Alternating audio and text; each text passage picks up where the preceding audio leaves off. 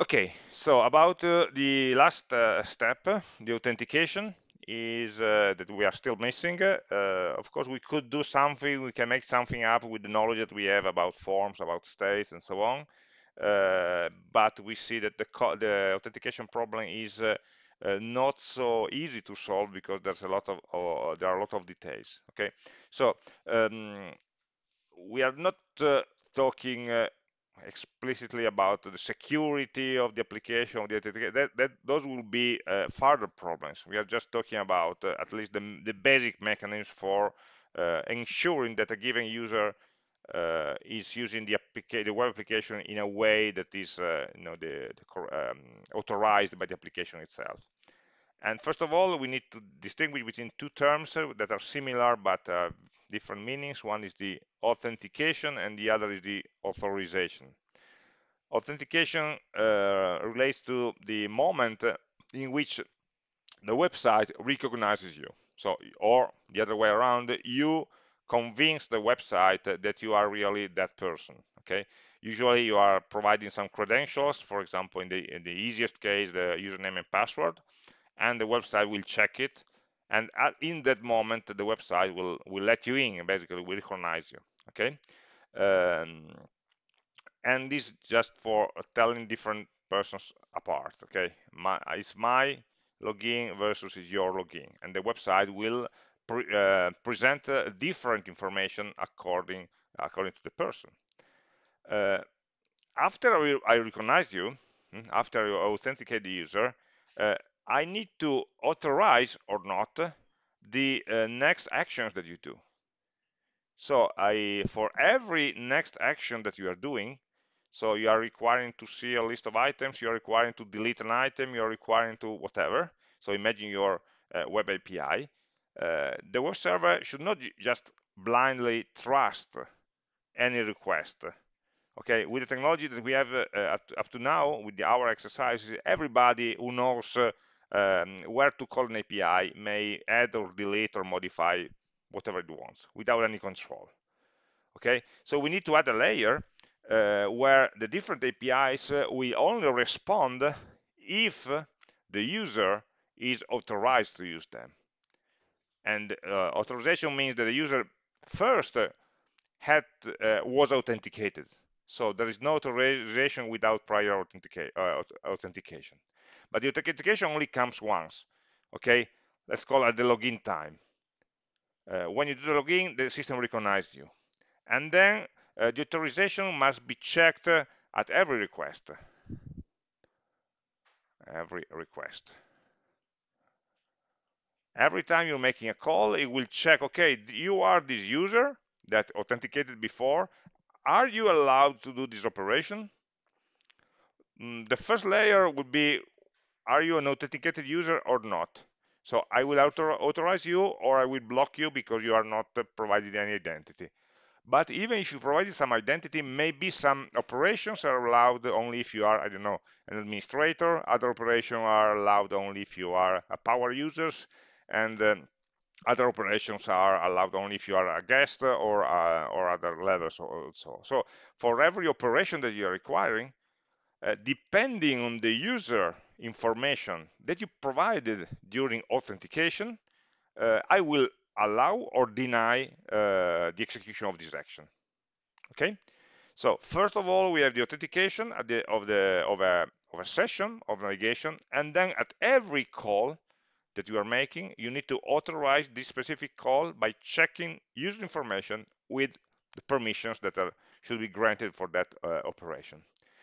And this is a tricky, a tricky business um, because it's complicated to get everything right. Uh, and it's very easy to make some errors or mistakes and just forget some step and that will create uh, uh, security holes uh, uh, in our application where everybody will just you know um, be able to execute operation that sh they shouldn't be allowed to basically and uh, it's also tricky because uh, it needs to uh, work on the server side and the client side. Uh, they should be aligned uh, about uh, who is the current user and whether he's authenticated or not. And and there's a, there are a lot of pitfalls in that. So this message is basically saying don't invent your own mechanisms. Let's try to use some best practices, some libraries, some advices that are you know already being standardized uh, and we try to follow the, the, the, best practices for, for authentication okay? It's a very very complex problem. Uh, the more you dig the more you find uh, about uh, details and complexities and so on so let's not try to to solve it by hand basically.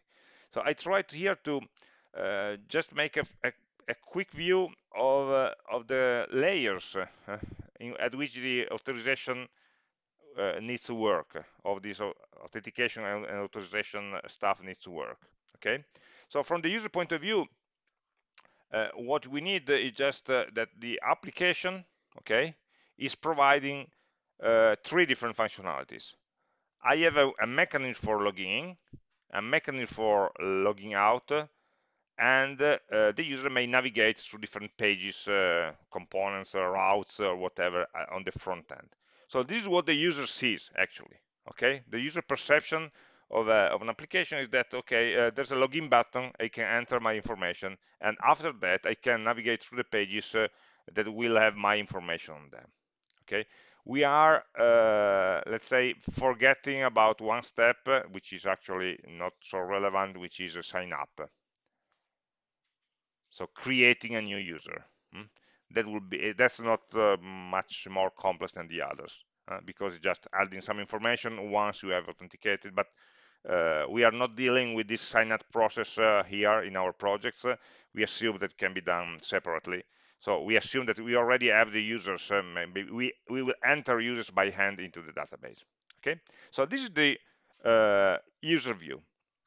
So for providing this user view, what is the React application going to do? Well, uh, first of all, the React application should uh, know whether the user is logged or not. Okay, at every time I must have some information whether, okay, right now in this session, is the user logged in? And so I should provide all the information or not, and so I should hide some components, not display them, and so on. And if the user is logged in, who is it? Huh? The information about the user, basically the name or the permissions uh, or the level and so on. So this information, of course, uh, it will be stored in some internal variables of the application into the state of a component, and this state probably should be propagated through a context uh, that is able to teleport this information to all the components that need it because maybe there is a, a component deeply nested that will render the, the user icon in top right in the top right corner and needs this information about the user. And we don't want to pass the properties all the way through. So in many cases the component that is managing the state of the, um, of the of the user of the login user of the logged in state of the user uh, will uh, also be a context provider so that every other component in the application will know that. But this is just a normal, let's say, state inside the, the React application. And this state variable needs to have a life cycle that we must manage. Uh, this variable must be set the first time when the login uh, happens. Let's say whether only the login is successful. Okay, if the login failed, of course, we don't set any user information. We don't set uh, the logged in state of the of the session and they will, must be destroyed also when I ask it to log out so that the, the front-end application knows that uh, that session, that user is no longer the, the, currently connected one. And during navigation, you must uh, query and use this information. Now, this is the easiest part because actually you are, it just means using this state variable whenever you need that in your component. Okay, you have this information. The key part is uh, uh, the login part. From the React application, the key, uh, say, um, activity is uh, um, ensuring a, a, proper login process. And the login means that requiring information from the user, sending it to the server, and checking whether the server authenticates that. Okay, and so we'll have some uh, um, route at the server side. I'm jumping to the server side and then I fill the middle. Uh, a route for uh, the login action which is the most important one for authenticating a session. uh, that will perform the, the actual authentication. Uh, so it will check the, if the credential of the users that are provided by some login form. Hmm? So we have some, some login form somewhere in, in our front-end application. The information provided by the login form is the correct one. So we'll check the username and password and tell me whether they are okay or not. Hmm? And this happens at login time.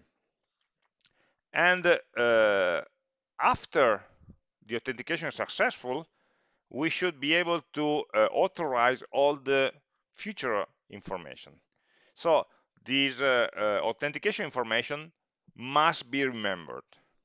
Okay, until I log out, the application should remember that I already logged in.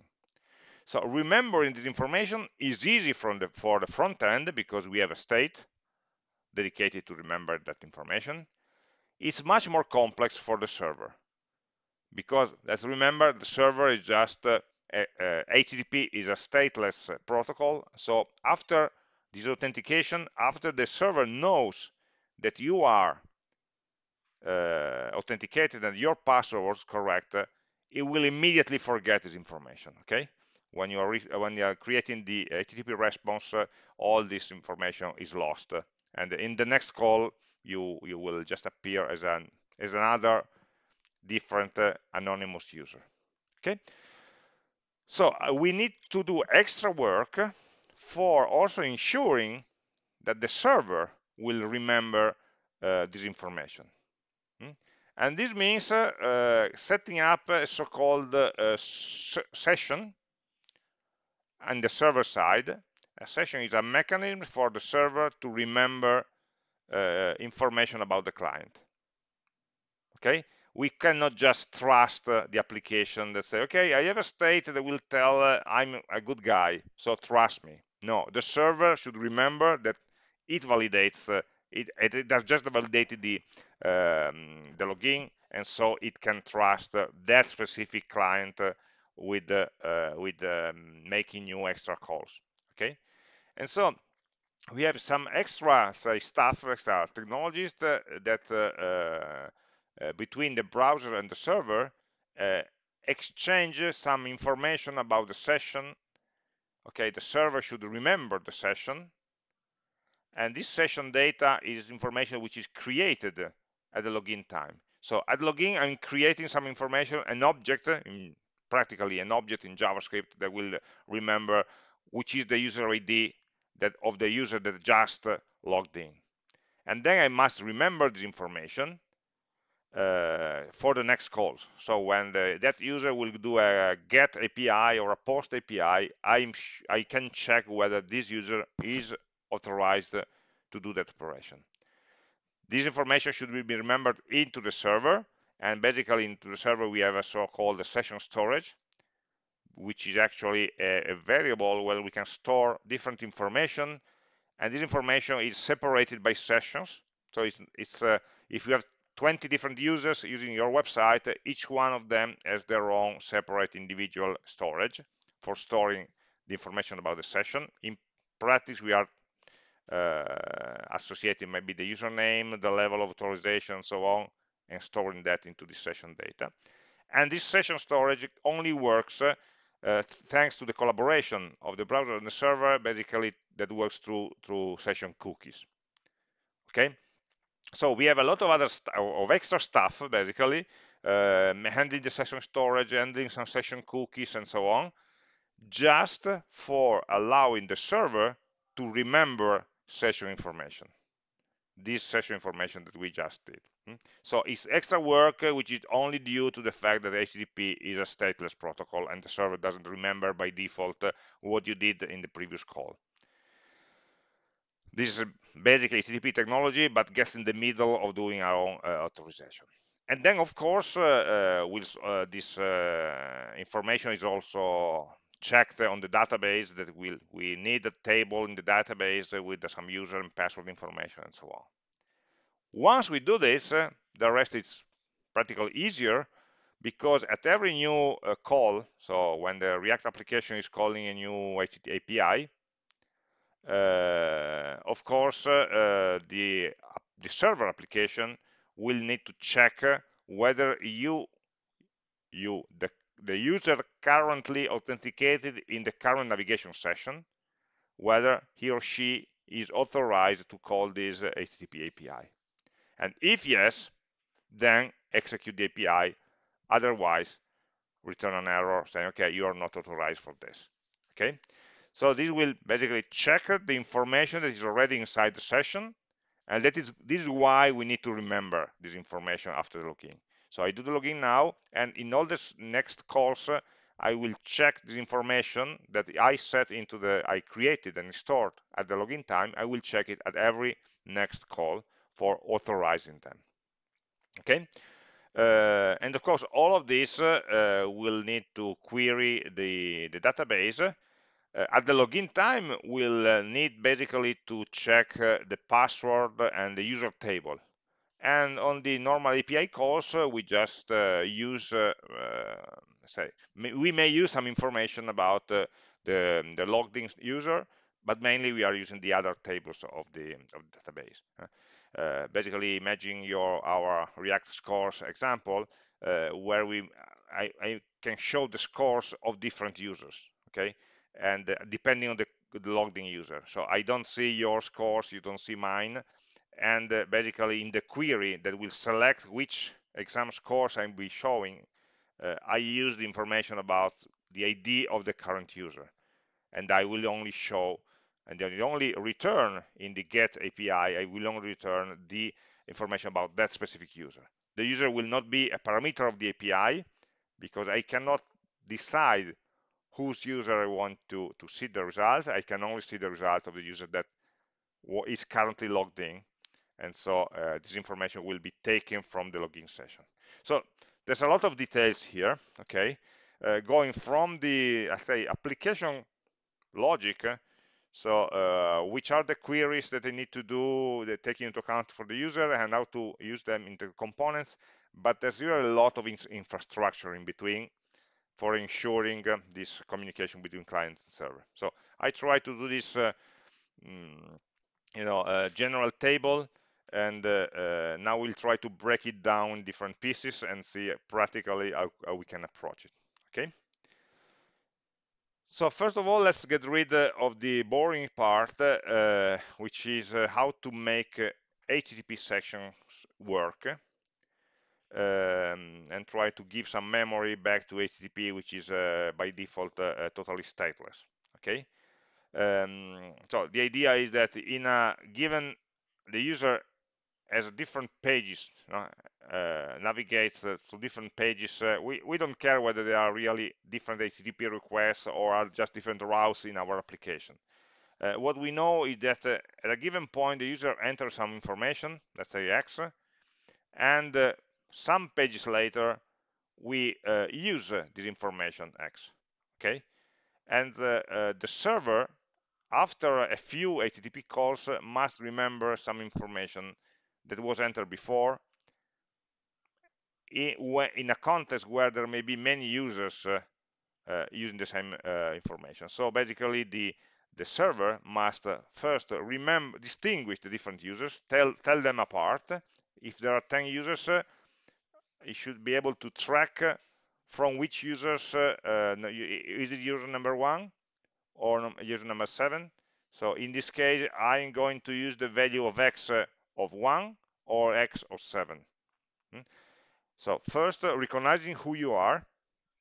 I don't need to know your name, I but I just need to tell the different uh, concurrent users apart from each other. And then store some information which is specific for each user. Okay. Um, this is what we want to achieve. So we want to achieve what we normally call a navigation session. No?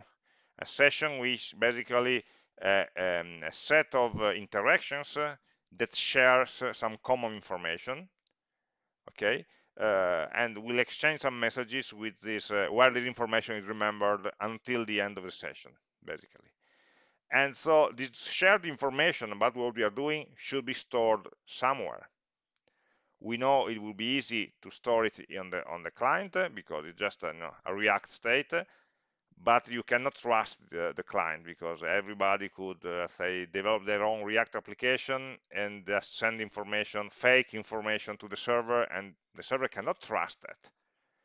Okay? So the server uh, the, the the state of the interaction must be held inside the server basically. So the server must have this uh, some information about this shared state mm, so that we can trust uh, next uh, um, iteration. So we don't want another user uh, at this point, user number 99, which is a bad guy, uh, try to send a request to the same server telling me give me x give me x. And because i am the same guy as number one. No we don't want this to happen okay? So the server must be able to tell a valid request from number one from a, a wrong request that is not coming from number one. Hmm. and so give or not give the, the correct data. Uh, this mechanism is based uh, actually on uh, uh, the generation of an ID that identifies uh, every session. Okay? So we have the browser and the server that will agree on a number of an ID a difficult, a hard to guess number uh, for um, for recognizing each other. Okay, just remember the server is only one, but the browser may be many different users uh, uh, that are uh, connected to the same time uh, at the same website. Okay, so each of them will have a different uh, session identifier, which is, say, a number, okay, a string and uh, uh, this number should be shared in a way by the server and the uh, and the browser. So the browser will have only one id one session id store we store it somewhere. And the and we see how and where. While the server will have many ids id for user number one session id for user number two session id for user number three and so on. Hmm? because it has many concurrent users um, the server, when it receives a request, doesn't know from which client is this request coming. Okay, so I say, okay, this is a request, but does it relate to the session number one, two, three, or I don't know, unless the request itself has a, a copy of the ID attached. So then the browser needs to send a copy of the session ID every time it makes a request to the server. So the server can unlock this uh, ID, say, okay, this is the one. It's what I called ID number two. And then there is some associated information about the username, about uh, the group, about the permission, whatever information I need to have about this user. Okay, we'll, I will have also other information about uh, session one, other information about session three, but I'm not using them. I'm only using uh, information uh, related to the session that matches the ID that they just received from the browser. Sorry for the long sentence, okay? So the server will store session information related to all the current session. The browser will remember the ID of the session. Okay, now we understand why these IDs should be hard to guess, because another uh, browser B prime should not be able to guess my ID, my session ID. Otherwise, it will be able to impersonate me and uh, uh, send request to the server telling that they are the wrong person. Okay. Um, so this is information that should be kept secret between the browser and the server. And uh, the browser uh, will uh, send this copy of information at every new request after this information has been created by the server okay? In order for the server to trust these IDs they should be created by the server. All this this is just a string which is stored inside a cookie which is a basic uh, basic HTTP header. Uh, when uh, we can set a cookie in the response when uh, when we res respond to in every in every HTTP uh, response, we can set cookie. We have, have a set cookie header that will just set some piece of information, and the browser will promise to send it back at every new request. So we'll add a new header in the request automatically. This is done automatically by the browser. Okay, we don't need to do anything to ensure that the cookies are exchanged correctly between the client and the server. Um, sorry. Uh, but we need to know that there is this number that will is able to let's say unlock some information which is stored on a per session basis. Hmm? This is also valid if the user is not authenticated. It doesn't matter. It's just a basic mechanism at the HTTP level. Okay. Then we will exploit this information for uh, authentication, basically, or basically more for authorization. Okay. So this ID is stored into these cookies, uh, and cookies are, as I mentioned, uh, exchange through spe special um, HTTP headers and uh, maybe may store some information which is uh, generated by the server, stored in the browser, and then given back to the server. The browser usually doesn't need to see the content of the cookie.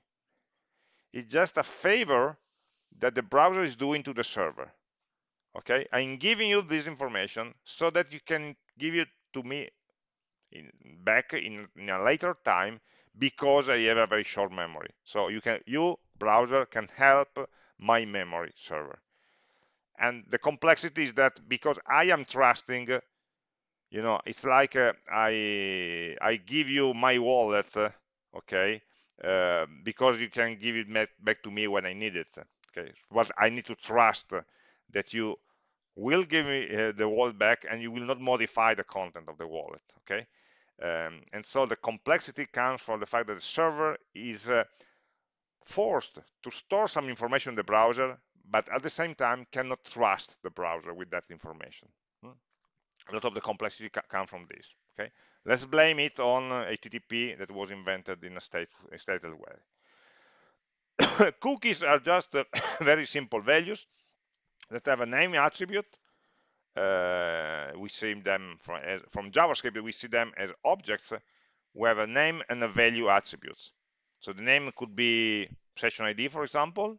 We can set different cookies, um, for example, the preferred language, the preferred, uh, I don't know, mm, dark on, or, or, or, or, or, um, or light theme in the interface or whatever we are now concerned with the session cookies for authentication so maybe we call them session id and we assign them a value which is uh, as random and as difficult and hard to guess as possible hmm. there are some other options uh, one is whether the cookie is secure it means that can only be exchanged over HTTPS it's not our case because we are not dealing with the certificate, but usually should be the good choice, only to use HTTPS for exchange information.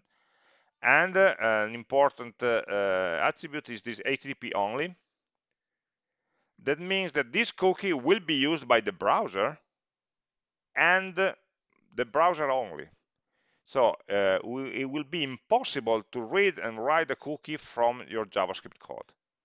So this is an attribute that the server writes, sends when it creates the cookie and tells the browser, browser, I'm giving you this cookie, but please don't show it to the JavaScript code that you are running. Only use it, browser, inside your HTTP engine where it's supposed to be. Hmm? So this is a, an extra security measure because the JavaScript code should not be should not need, let's say, to, to have this information because uh, it's a server generated information that is useful for the server. The browser is just a middleman in this in this uh, in this operation. So uh, the, our JavaScript code will never, on the client, will never need uh, to see uh, any of this information. Hmm? So it's a good uh, attribute to use in this case. And of course, it may have some expiration data also. So the authorization phase uh, based on cookies uh, uh, can work in this way. The, you imagine a login time, okay? At the login time, you have the browser. In some way, inside the browser, we have the information, the credential of the user, username, password that we gather from a login form, for example, okay? Username, password, submit, login. The browser collects this information and makes a post request with this information. This is a normal post API. Hmm? that we can send to the server. It's with the normal HTTP API mechanism, we make a fetch uh, that contains this payload with the user and password. The server receives this, the information, checks whether the password is correct. Uh, let's assume it is correct. And if it is correct, uh, it does two steps. One, it will create a session ID, the server, and will encapsulate that in the cookie that, we, that will be sent back to the browser in the response. So we are creating a cookie for this session. We are creating a session, basically, and initializing into the session storage one specific store of information for this specific session ID. Hmm? We have a session storage that may store many different sessions, and every in, in our session, maybe we store the username, user information, some temporary data about this user. So that from the session ID, it would be easy to extract the username, for example, and from the username, we can query the database for having all the extra information. So uh, the session ID is a random number. It doesn't speak for anything. But with the session ID, the server can get the true information about the user. So it's a way for the server to store this username information somewhere where it can be retrieved easily if you know the session ID. And this is what happens on the next call. So this is a login time. Then uh, some time passes, we need to do some API, and the application needs to load some data.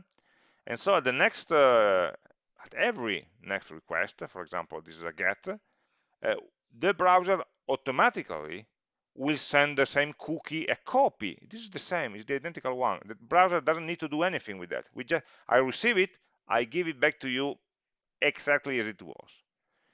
And uh, um, I'm sending the same information to the server. The server receives the session ID. First of all, it will check whether it's a valid session ID. Is this a session ID that I created and it's not a fake one and it's not an expired one and so on? Are you, aren't you trying to trick me? Okay, if it's a legitimate session ID, I will go to the session storage and extract some information. No? So our username may be, may be uh, retrieved for, uh, from the session storage using the session ID. You understand? If I can guess your session ID, I can steal all your information. Okay, but uh, the, the, the server will try to generate, uh, uh, say, random enough and secure enough uh, IDs. Uh, and then with this, this, information, and of course with the parameters of the get, uh, all the queries can be done. Where I can use also this information about the username, which is not on the get. Okay, it's information that I'm asking to the server, get my exams. Hmm. And the server knows who I am because I did the login some time ago. And I still have a cookie as an evidence to prove that I did the login some time ago, right? Uh, of course, if this uh, any of these checks are not valid, uh, I will refuse uh, okay, to execute the API and we return uh, 401 code, for example, saying, okay, you're not authorized for asking for this information. The important point is that here, the password is not needed anymore.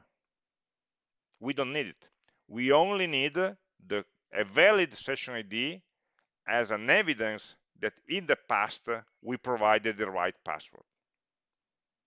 Hmm? but no longer. The password is not stored anywhere and is not sent many, many times. It's only sent once at login time.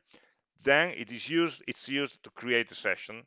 And it's the session, having a valid session in place, uh, it's the proof that some time ago I did a valid login. And if I want to log out, I just have to destroy this cookie. I won't accept this session ID anymore and then the server will behave as if you, you weren't authori authorized and will not be you will not be able to ask for any further information. Okay? This is the basic uh, uh, authentication mechanism that is valid for every time every kind of uh, uh of uh, applications. Uh, even we are not working on front-end applications but even in the old styles say client server pattern this mechanism was already in place where the session was also used for storing some application state that we are now handling inside the, inside the components. But from the uh, connection between the, the, client and the server, this, this is the same uh, old uh, mechanism that uh, this was in place even 10 or 20 years ago. Okay. Um, where is the session storage kept? Here, it depends. Uh, we will see that uh, for small application, maybe they can be stored just in memory in the server, or in larger uh, servers, there will be a dedicated storage, some database or some something which is just a private storage for the uh, web server to store this information. Okay, it should be configured, but it's not some information that we manage directly. It will be managed by by the server. Okay, so this is the, the basic mechanism. What we want to do, and this is already basically set up in the in the in the HTTP protocol. No? The HTTPs and cookies are already predefined. What we need to do, of course, is to handle these operations on the server here. So we receive this information, how to check them, what to store in the session, and how to recheck them when we receive uh, uh, new, inform new, information. This is our, should be our code because only we have the knowledge about uh, what which checks should, uh, should be done and uh, whether a given username and password is valid or not. Hmm? And I'm talking about username and password, but there are today much more complex uh, um, authentication mechanisms that use extra tokens and complex processes. So this is just a the, the, the simplest one. Hmm? Uh, sorry, a question from Pietro is asking uh, if someone sniffs a packet and gets the session ID, can the server understand there is a problem? Or just serves the wrong uh, client? Uh, this is called the session hijacking, where I can observe a session in transit and I can replay part of the session and the user and the server will just uh, uh, imagine that the session is legit, is the same session that is continuing. Okay, so actually this is a problem. This is why uh, we you should always use HTTPS because if you are using HTTPS, this cookie information, which doesn't have any information in it, but it's a, unique identifier, is if you send it through an HTTPS connection, uh, it will not be readable by a third party. So uh, there's no, uh, if someone is able to observe this exchange of information, it can just uh, uh run queries in your place. If you are you have it inside an HTTPS, uh, of course, uh, it will be encrypted with the certificate that this browser exchanged. So there's a, a really a lot of layers. we are in a bad situation. We need to sh share information between two parties that we don't that don't that should not trust each other. Okay, that's why it's so complex. Uh, but we are not in a security course uh, to to to to uh, say solve all the details, but at least we should find a workable solution. So basically, uh, some basic guidelines to make this mechanism better. Always use secure cookies and the HTTPS uh, protocol, and uh, always use the HTTP only cookies, so that only the browser knows this information and this information is, uh, never leaves the, uh, an encrypted connection, basically. Hmm? And uh, the cookie should not store some information, any information which is important. So in the cookie, we are not going to store the username because it cannot be trusted in any case. We are only storing a session ID that can only be decoded and validated by the server. Okay. But uh, even with this basic mechanism, there are a lot of creative ways for trying to get around it because we have a web page that includes a, a, a script from a different page that includes an iframe for another page and they can call each other and it's a mess, okay? So if you want, uh, you can open a book and spend the next uh, 10 months uh, in understanding the different ways uh, in which uh, things can go wrong and what are the different protocols and mechanisms for uh, for uh, getting around them and for uh, for securing your applications. Hmm? we are we are we don't have the time for for for doing that. we are we try to focus more on the having the sorry the application working. Hmm? Uh, but there are many problems some are mentioned here some are recognized there are good solutions but uh, there are that those sort of a uh, problem when you can make a small mistake and uh, you just forget about something that you didn't know about and then your application becomes uh, uh, insecure. But let's move on and try to build something okay? How to um, construct this hmm? uh, in, in our code. What tools can we use? What libraries can we use for for that? Um, this is just a summary what happens uh, at the login time. So we already know the first step. We, we commented them. Um, this is the client work uh, filling out a form and validating the data. And finally we have the post API to the login function. Okay? So everything happens from now on. The server receives the request with that contains probably username and password sorry um, and checks whether the user is registered and the password matches okay? There's another problem here because the password uh, should be checked by the server of course but the server should not store password in any way. Server should never be passwords should never be stored into a database uh, in clear. Repeat after me password must never be stored in a database in a clear form okay uh, there, is, there should be not even an encrypted form. There should be no way for the server to know the password that you entered. No way. Because even if you are stealing the server, you're stealing all the data, you should not be able to recover the user passwords. Okay, never. This means that the comparison of the password should not be just a, a string comparison, but a comparison based on some hashing code of the previous password. Hmm. So if the credentials are user and password, okay, uh, in the database of the server, we are storing uh, user and a hash function, a hash function of the password, not the password itself. Okay. Uh, and the login time in the post we have the user and the password. The server will check, uh, we compute a hash for this password and will compare it with the hash that was stored into the database. in this way, the password is just a transit information that I get, I use it for checking, and then I forget it immediately. Okay, mm, you are seeing the, more than this in your uh, security course uh, this year on or next year hmm? about uh, how to make cryptographically signed uh, operations. I check it and uh, I send the response back to the server I, for the, in the case of an error, I wrote here a very um, uh, unprecise uh, uh, message. Something that something is wrong with your username or your password or both. I'm not providing more details about why your login was rejected. Okay?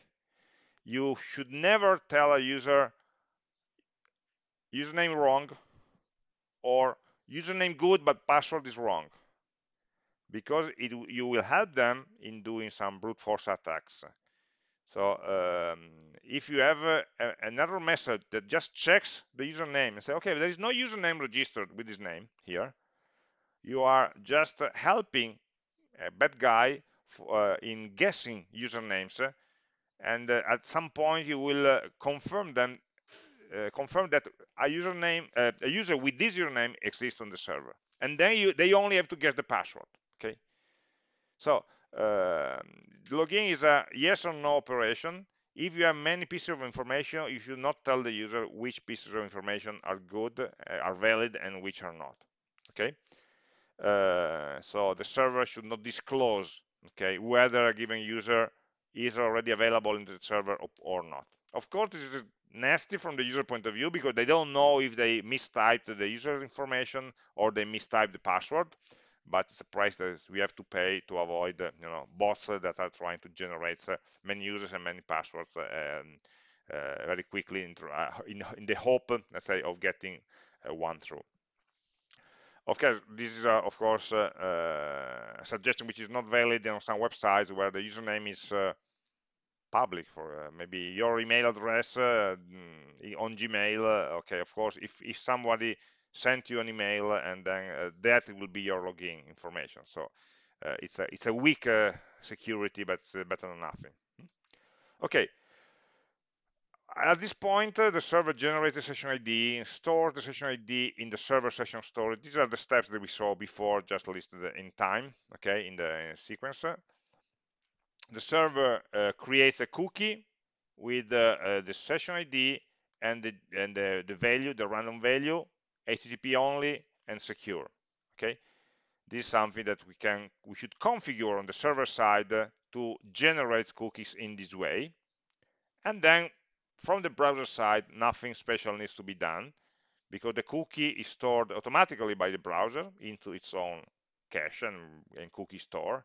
And then at this, at this point uh, the, the, the application is handling the response that will be at 200 okay the user, the user is validated. I can give you maybe some record some object with information about the user some json with all the information you need about these users and you can store them into your state um, Giulio, the username can be guessed also when you do registration that exists uh, a username with that string, isn't it? Uh, you do registration that exists. Uh, yeah, there are usernames which are not emails, uh, of course. Uh, you can try to do, ah, yeah, you're saying, I can try, to do a registration with a given username and the system will, will going to tell me whether the username is already taken. Yeah, yeah, that's also uh, a, a, a, way of trying to guess usernames. I try to register a new user with a given string. If the string is not uh, accepted, it means that there will be some user with the name. Yeah. Uh, you see, there are many holes in everything we, do. We do. Just for uh, user, uh, the solution for this will be to assign random usernames to every people. So your username is ABC uh, exclamation point seven seven. Uh, okay, but then people will not remember them. So we let them choose their name, and they will become easy to guess. Hmm? It's a bad world we're living in. Okay. Um, a random ID is randomly generated for each session is ask Lorenzo is asking? Yes yes. It's more than randomly basically okay? It's uh, generated in a way which is as as difficult as possible to guess okay? So it's a random plus signing plus encryption so uh, you should have two uh, characteristics from the from the session ID first it should be random difficult to guess and second it should be easy to recognize. So the server should be able to recognize uh, whether this session ID was mine. Did I generate it or not? So in many cases, uh, it's a random number, a, cryptographically random number, strong, ran, cryptographically strong random number, plus signing, cryptographical signing by the server so that it can recognize whether it was the one who uh, generated it. Hmm, to, to avoid trying to receive or decode cookies generated by others. Hmm. Uh, it's not tied to the password, not at all. Not at all. Okay, you can have cookies for any kind of sessions. They only are used to create a link between a browser and the server without any regard to the information that they are exchanging. Okay, if there is some extra information, this information will always be kept in a safe place inside the server in this session storage. Okay, the session ID is the key to unlock this safe place, but it doesn't contain information. Hmm? Uh, for the same user, yeah, at every time you, you do a different login, you close your browser, you open again, you will get a different cookie. A different, yes, a different cookie with a different session ID. Yes. Okay, uh, so it doesn't have really any information it. It's just an, a lock no, for unlocking some safe. Uh, then there are some more complex ways of using cookies. For example, when you are uh, returning to the same website uh, the one day after, you will find maybe your your day your maybe uh, goods in the in the um, in the shopping basket. Uh, of course, the cookie as long expired, you, you, you cookies tend to have an expiration of about 20 minutes or something like that. So the day after, how can they recognize you? Well, that's because they are setting a different type of cookie, which are permanent cookies. Hmm. Uh, so from the permanent cookie, they can the, the server can, but it's not a, a, a volatile storage. Uh, they will store permanent cookie into a database, but it's going more complicated. It means just a mechanism for recreating new session, old sessions uh, starting from scratch. Hmm. It's all server-side business. Okay. Um, so from the application point of view, the login operation is not particularly complex. You just have to get information from a form. So you'll have your controlled login form with the username, password, or whatever, uh, a normal uh, you know, form in, uh, in React.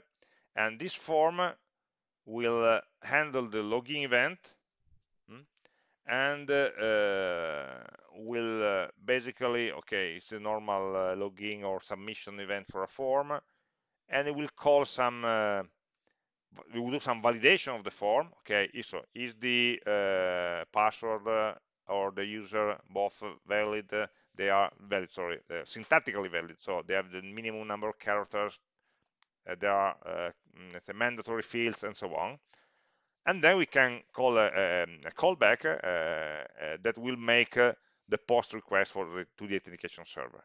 So we are putting together the information into a post of a JSON with, for example, username and password. Otherwise, this, so this is just this else is just local validation before uh, validation before sending information there. Uh, while here is just uh, the is the real authentication attempt. We are trying to authenticate ourselves, attempt, there's a T missing. Um, we are trying to authenticate ourselves uh, using these credentials. Hmm?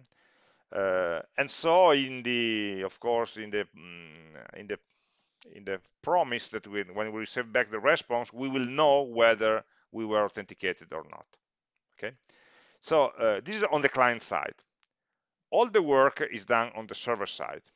And the server must uh, handle a lot of uh, you know, special cases and so on. And we are suggesting to use uh, in this course a library uh, which is called Passport, which is one of the most uh, used, let's say, frequently used libraries for handling this kind of stuff.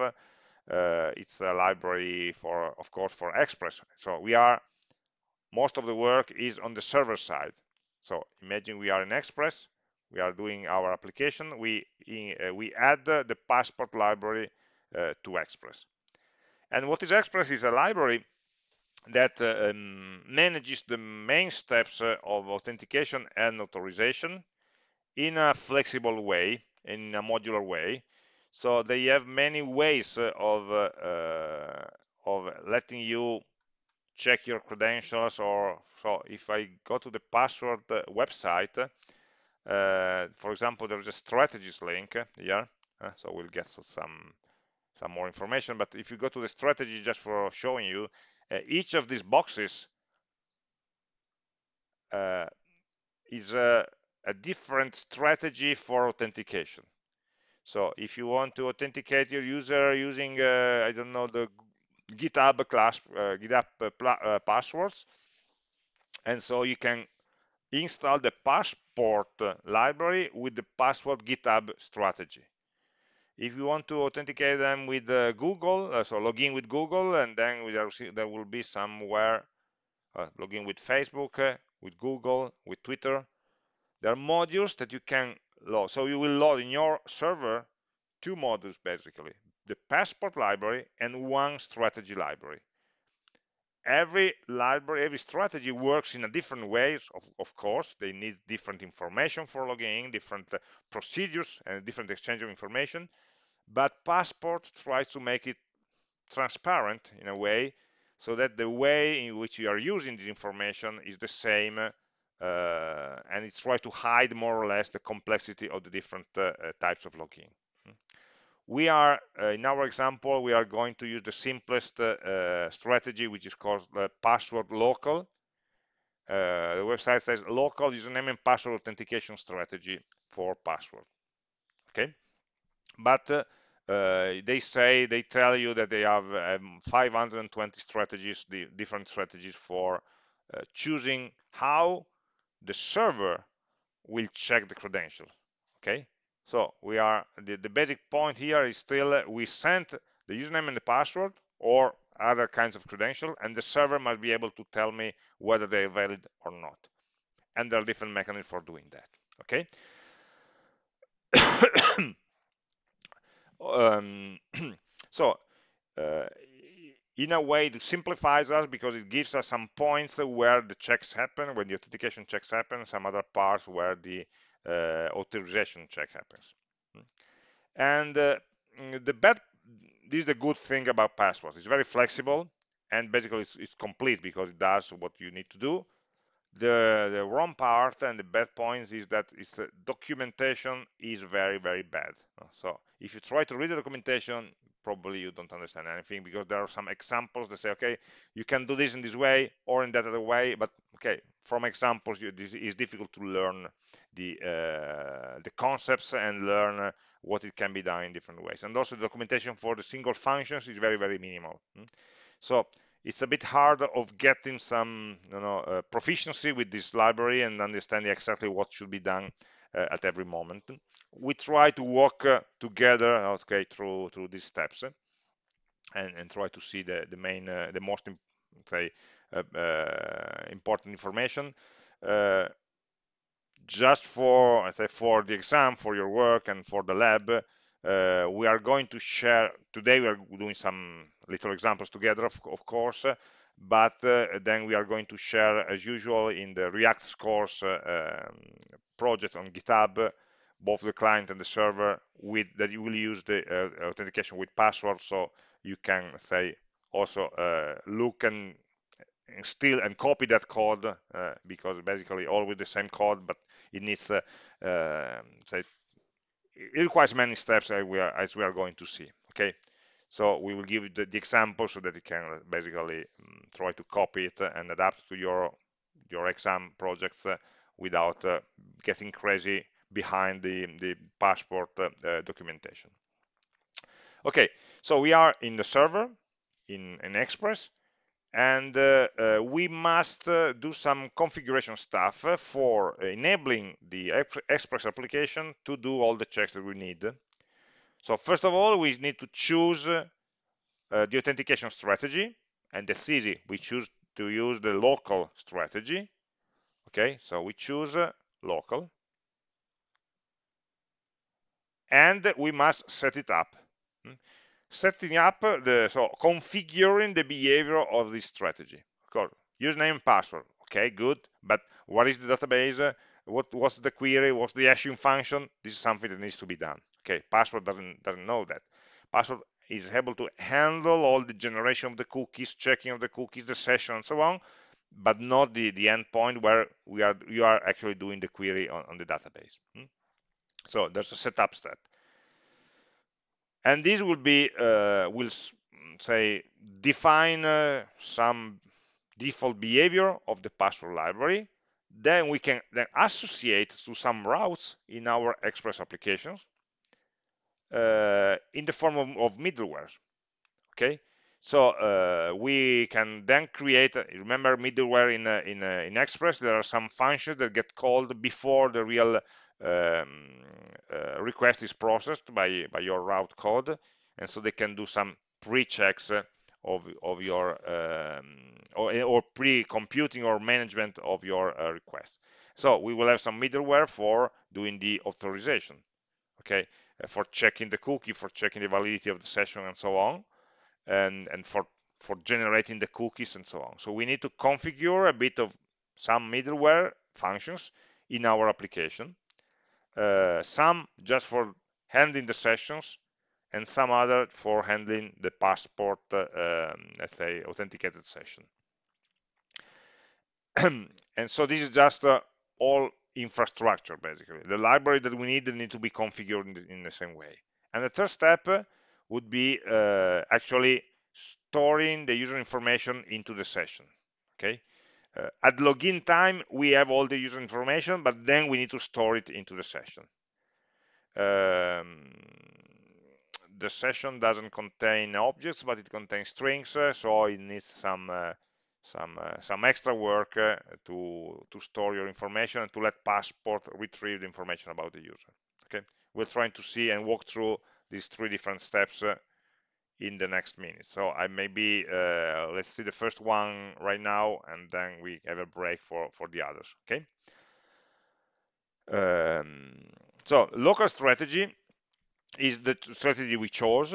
It's uh, it's in it's in a different module. It's called uh, passport local. You see that we are requiring an extra module, passport local, that needs to be installed in our project, of course.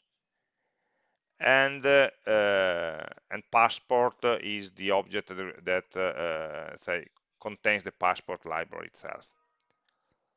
the local strategy assumes that the validation is done with a by, by providing a username and a matching uh, passport, uh, password.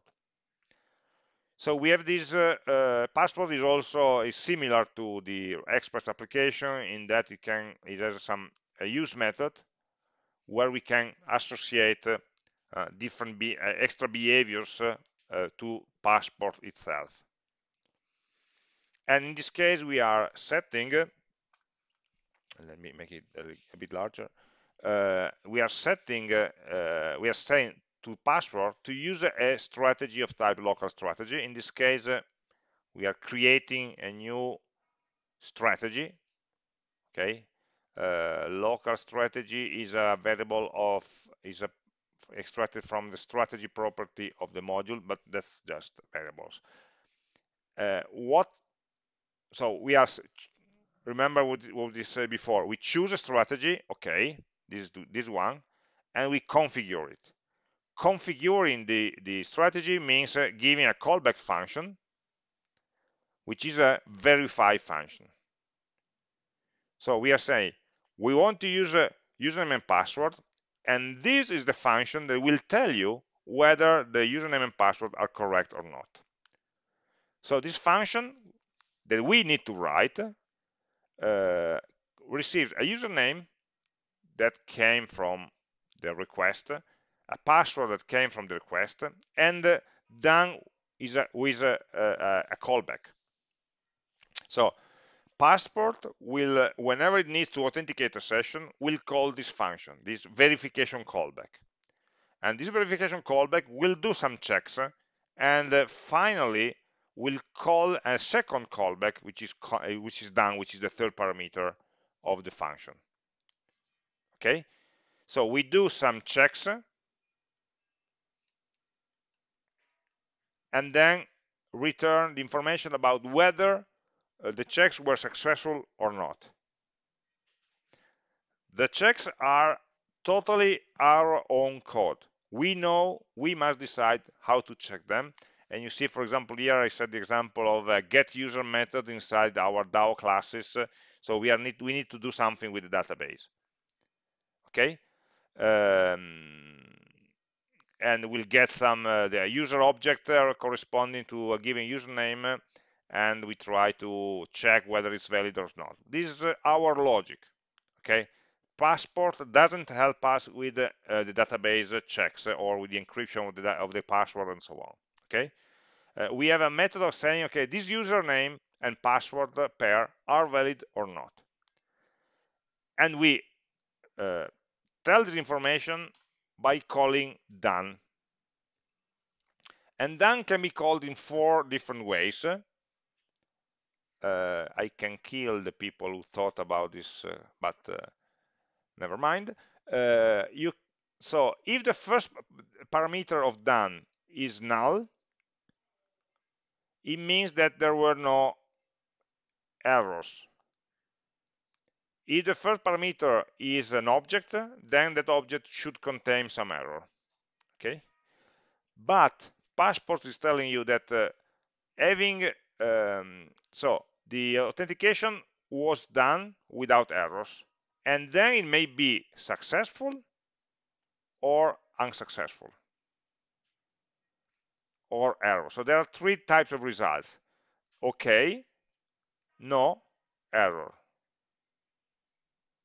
OK means the username and password was right, were right, and so this user is logged in. I will tell it by calling done with a null parameter and an object, a user object, an object that contains uh, information about the user. Okay, I decide what kind of information I want to have. Okay? So maybe the user will contain the password may contain the id may contain uh, i don't know the course or whatever. Information about the user i can retrieve from the database. You see that user here is coming from the dao call so it's our code and uh, we are just uh, uh, passing back the, uh, to the we'll return it saying okay with this credential these credentials are correct and this is the object that describes information about this user. It may be just as simple as storing the username or the id it doesn't matter. If this object exists then it means that the password was correct. If the password was not correct you should send false as a second parameter. So always null as the first parameter because everything went right from the server point of view but the password was wrong or the user were wrong. So uh, for rejecting a login, you return a false as a second argument. Maybe if you want, you may have a third argument uh, with some explanation. Uh, so the error is uh, should uh, be used for cases where you could not perform the validation. Maybe some database error, some connection error, or something like that. And so you cannot, uh, uh, you, you, are not saying whether the validation was right or wrong, but you just you couldn't do it, okay? So a valid uh, verification is a verification that uh, may have valid credential or invalid credential. So the, the login will be successful or uh, wrong, but in all, all the cases, uh, it's, say, it's a, a legitimate call and so we return with, with no error but with some information about okay this is the authenticated user or there is no authenticated user. Uh, and the other case so we have basically three three three types of, of results to give okay? So you see that for example if the user was not found or was not found correctly then we are still returning null uh, so the we have no error, but uh, the user is not found, was not found. Okay, and we are returning some message, some error message. In this code, we don't have the the the other call of error that could do, could go into a catch. Okay, uh, branch. So we are doing this uh, DAO call. If there are some exception, we can catch the exception, and at this point, uh, uh, call some error conclusion of of the of the um, of this uh, of this verification callback. Okay, so we have two levels of callbacks. One is the verification callback, our function. Other, the other is the done callback, which we must call.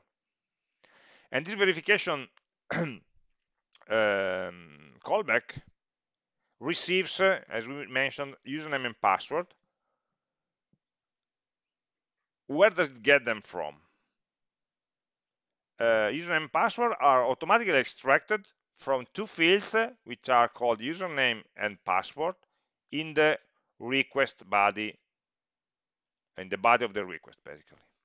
So uh, the local strategy assumes that in your request body you have two properties called username and password password sorry.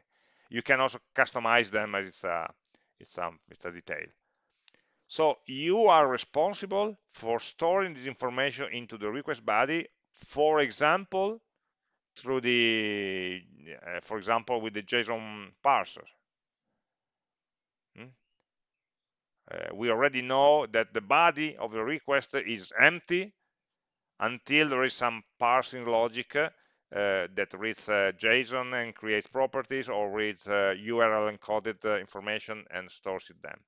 So you are responsible, we are responsible for filling the request body with the required information, and then Passport will be automatically extracting these fields and passing them to this function. Okay. Uh, the request Anna is sent in clear, yes. Uh, that's why we should really, in the real world, we should always use uh, HTTPS because the request body is of course uh, uh, just contains a JSON object with the password in clear with the with this local strategy so username and passport password the password will be entered in clear in the form and uh, uh, stored into the JSON uh, in clear and we send to the server. So un unless we are using an, an, HTTPS connection, this first call is very uh, sensitive because everybody could read the, information in transit. Hmm? Uh, you could uh, imagine some nobody prevents you from encrypting you know, in some way this password so don't send it in clear and then of course when you're trying to validate you will take into account this kind of encryption if you want or uh, yes or um, but uh, it will make things more complex and as the general rule if you are worried about that about this level of security use a more complex authentication scheme. Use uh, you know Google authentication or OpenID or OAuth uh, which are more complex authentication schemes uh, where the password is never sent through but because there will be an exchange of tokens. So they are using other strategies. So uh, rather than trying to complicate this very basic strategy you should try to move to another strategy where some other people who are cleverer than us from the security point of view uh, already prepared uh, all the all the protocol, all the exchange protocols. Here we are assuming that okay, uh, the the channel is secure, either just because we, because we are just playing, we are just testing, or in production always use HTTPS. Okay, there is no excuse uh, not use HTTPS in production. Hmm, it's uh, but yes, uh, this is uh, a point where the password is exposed needs to go to the server because the server should need to to compute the hash and then compare the hashes. But for computing the hash, you need the password, the, the, the real pass password. Hmm? You cannot compute the hash on the client uh, because otherwise uh, uh, it will be easier to get. You, you, just need to replay the hash and and you can impersonate another user. Hmm? So there are a lot of of corner uh, of dangerous corners here. So the password is sent in clear, uh, but we should never store it in clear. Okay, and so usually we use some hashing techniques uh, where in the database uh, we store not the password but a hash code that is computed from the password. Um, there are again uh, many techniques for doing that. Passport doesn't help us okay? It doesn't do anything about this because this is a database representation choice. Um, one simple way of doing that with express uh, is using the bcrypt method that uh, will take a passport and generate a string like this. uh, with uh, which is something which is derived from the password and cannot be reversed so it's not uh, it's not at all possible to uh, to to know which were the previous password. So if I writing a, very difficult password like one two three four five six, and uh, uh, I use the website, it will tell me that the hash code, one hash code of this of this password could be this one. So when the user will, will register in our website, when we are signing up a new a new user, the user will provide a passport, and in the database, we are going to store this code. By the way, this is not a unique code because if you try to recompute it with the same passport, you will get a different hash every time because there's also a, um, a random and a timing uh, uh, issue there. And so that every time, even, even if you have three users which have the same passport, you cannot tell from the database because the hashes will be different in any case, even if the password is the same. Okay? So uh, it's some it's a string like this that will be stored into database. And uh, we can uh, use uh, there's a package uh, bcrypt that we can import in express that is able to to compute uh, these hashes. And then we can do the comparison okay? So basically this bcrypt module has a couple of methods that we may use. Um, the most important is the compare method okay? It will compare a passport which is in clear with a hash that has been stored into the database. So we retrieve from the database the hash corresponding to the username and we ask bcrypt to compare the clear text password uh, with the, the hash and will tell us true or false, whether it matches or not. Uh, if we want to create new password hashes, uh, we can use the hash method uh, by taking a passport, the password and uh, a number. You see, we already have it here. Uh, the rounds because it's an iterative process. Uh, the more you iterate it, the more say um, random information, the more entropy you put there, you put in, and so the more difficult uh, it becomes to to invert this function. Um, but uh, as you see, since the hashes are always different, okay, you cannot uh, take a passport, com compute the hash, and then compare the hashes, because the same passport will have uh, the same password will have different hashes at different times. Okay, so you cannot just do a comparison of the hashes. You must use the compare method uh, and then uh, it will take care of, of checking the, the validity of, uh, of the hash compared to this password. Uh, by, by, the way, bcrypt has different uh, sub algorithms, uh, sub ways, different ways of computing that. and there are the first four characters, like this four one, that define which algorithm used, was used for creating that hash. Okay, um, the, the bcrypt module uh, supports well the hashes uh, of type 2a and 2b. Don't ask me what they mean. Okay, but uh, around you find other hashes with other prefixes uh, that are something like 2x and 2y. Uh, if you find uh, they should be more or less com compatible. So if you find a website that will generate a hash with 2x, uh, you can replace with 2b, uh, that this should be matched. But uh, this website, so we are not using the, the sign up, uh, um, we are not implementing the sign up functionality.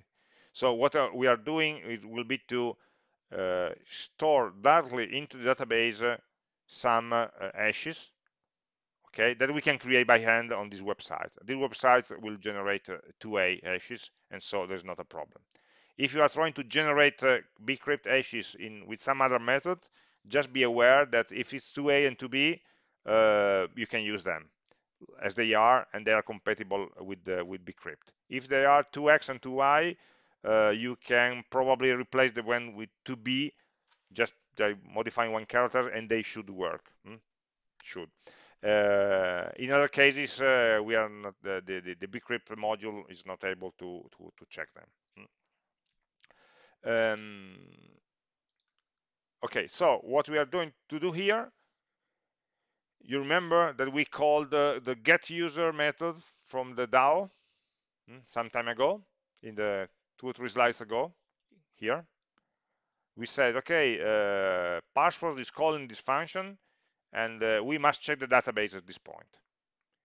With what? With the username information and the password also, I guess. Yes. So uh, actually the signature of this method is a, is a, bit different from the other one. Sorry, it's not uh, uh, email and password. So actually here, he yes, not username, but it's also username and password. Okay. Uh, so the DAO method, get user, uh, receives uh, email and passport, password will try to receive uh, to select from the user table that user with a matching email or username depends on whether you're using just strings or email addresses as usernames uh, we retrieve this line and we may have uh, uh, different cases okay we may have some error so we reject the promise uh, and it, need, it, will need to be catched at the, at the upper level. There are some database error.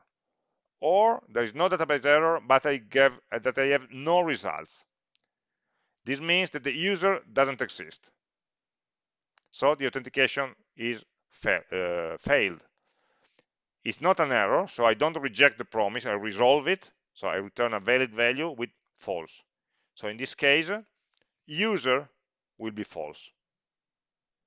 Otherwise, we have a row with an ID, an email, and a, and a pass, pass, password. the password will contain the hash and uh, here and the hash will be compared with our clear text password that we received from the passport callback. So we have a user so the user exists. We don't we still don't know about uh, the, whether the password is good or not. We can use bcrypt to compare it compare them and uh, this uh, compare returns a promise. So you need to do that asynchronously. And uh, I don't know why but uh, it returns a promise. Uh, and uh, in this case if the result is okay then this username is valid because the password did match. And so we can resolve uh, with this user information. Otherwise uh, there's a mistake here we should resolve with false. Okay because the uh, the same that we did there here and there. The user doesn't exist or the user exists but the password doesn't match. In both cases uh, are not uh, uh, not valid authentication. And so we should return false uh, and this false value here will go here. User will be false and so we return an error message. Otherwise we are returning user which is an object that we created here with some information the id for example the email. Okay the email was already known but uh, we are putting that into an object that will, will be remembered into the into the server application okay? Uh, okay this is the first step. Okay what we did do we, st we still didn't write any route in express. We just configured our strategy. We use a, um, passport. We create a new local strategy. The local strategy needs a verification callback. So we must write the verification callback. The verification callback needs uh, uh, to be able to check the username and password. So we need a, a method for checking them, doing the query, and a method for doing the, the let's say the hash comparison. All of this in our code is just the beginning, you see, it's just passport.use. We are telling passport what kind of authentication we want to do by giving the callbacks that it, it will call at the right time, okay? And then, of course, we need to see how to call them in our application. So this is just all, let's say, configuration time. We are telling them uh, what kind of information we need to do. I um, just before before breaking, I we published a, a, a project um, week 12 uh, this morning uh, where we have a, a very a smaller version of the React scores, something that is only, we deleted a lot of functionality that's only just showing the the, uh, the list of exams. Uh, we doesn't uh, just to, to make to focus it uh, on the authentication part that we are going to add and to see how, how they can be added. So it's a mini a minimal version of the real scores.